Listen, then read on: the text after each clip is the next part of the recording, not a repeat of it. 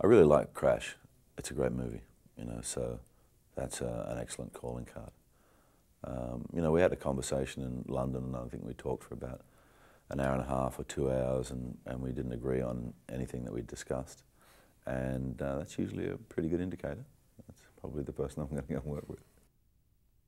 Paul Haggis is directing the film. He directed Crash in the, in the Valley of Elah.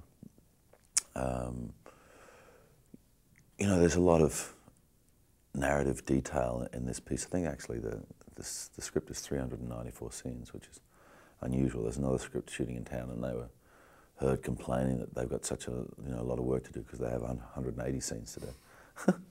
um, but you know, you've got to have uh, a mind and an eye for for a complex narrative if you're going to take on something like this. And you know, you know from Paul's work as a writer. Um, whatever piece it happens to be. Uh, complexity in the narrative is one of his specialties.